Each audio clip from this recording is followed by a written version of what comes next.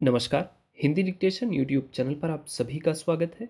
Ready हो जाइए five second में डिक्टेशन लिखने के लिए। डिक्टेशन एकदम यूनिक है तो जो वर्ड आपसे ना बने, उसके लिए परेशान नहीं होना, ठीक? स्पीड भी कोई खास नहीं रखूँगा मैं, कोशिश करूँगा कंट्रोल में रहे, ताकि आप बस वर्ड्स को लिख पाएँ। रेडी?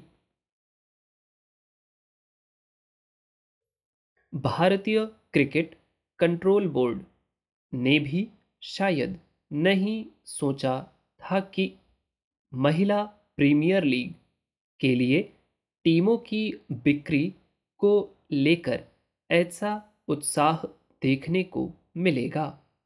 पुरुषों के भारतीय प्रीमियर लीग की तरह महिला क्रिकेट का प्रीमियर लीग भी शुरू करने का फैसला किया गया है।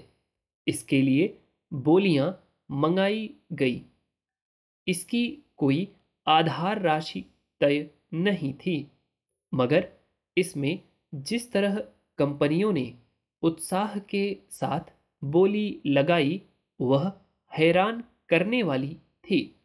महिला प्रीमियर लीग की पाँच टीमों की बिक्री से भारतीय क्रिकेट कंट्रोल बोर्ड यानी बीसीसीआई को चार हज़ार छः सौ सत्तर करोड़ रुपए की कमाई हो गई।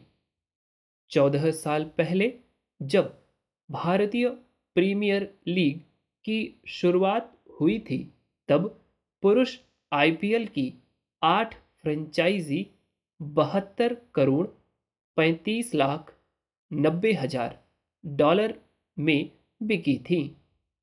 उसकी तुलना में यह काफ़ी उत्साहजनक शुरुआत है। निस्संदेह इससे महिला क्रिकेट खिलाड़ियों का मनोबल भी बढ़ा है। भारत में महिला क्रिकेट अभी बिल्कुल नया है।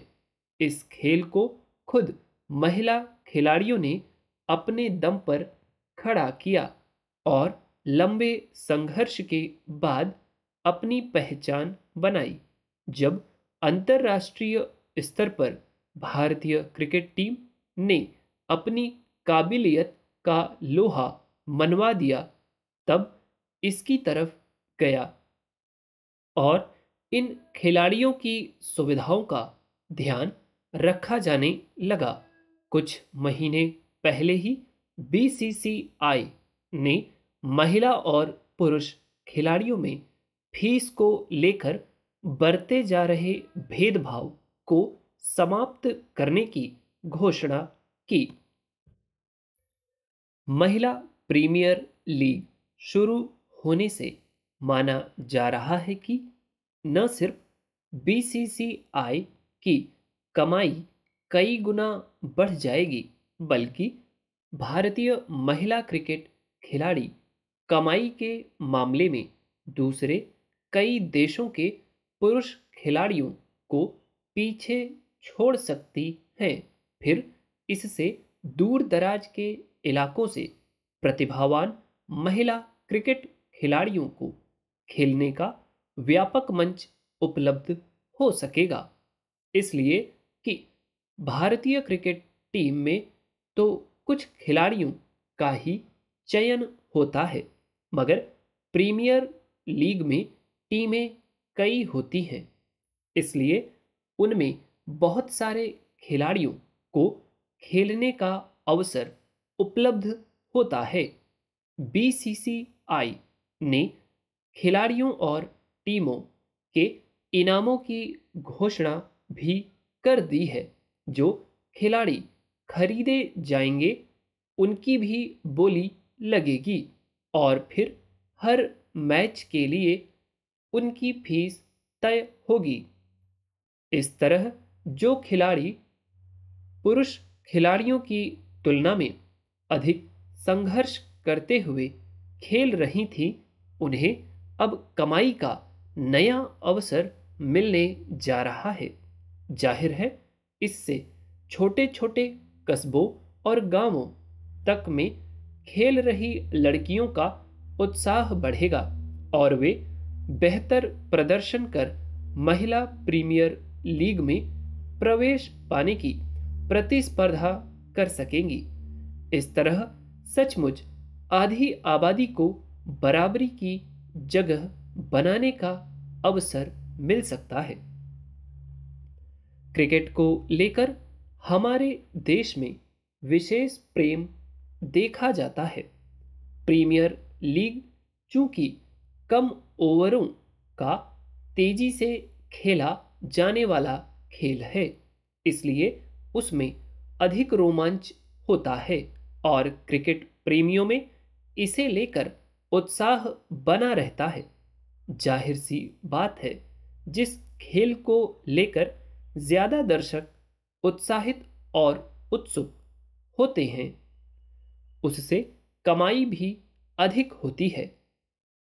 इसलिए इसके लिए टीमें खरीदने को लेकर बड़ी बड़ी कंपनियाँ भी बोली लगाती हैं।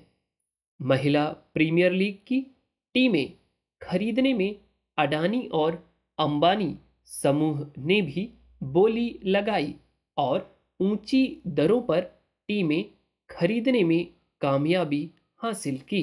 निस्संदेह बीसीसीआई के लिए यह एक नया कीर्तिमान बना, पर इस उत्साह में फिर एक टीस उभरी कि भारतीय हॉकी और दूसरे खेलों में संघर्ष कर रही खिलाड़ियों को कब ऐसे प्रोत्साहन देने वाले सामने आएँगे?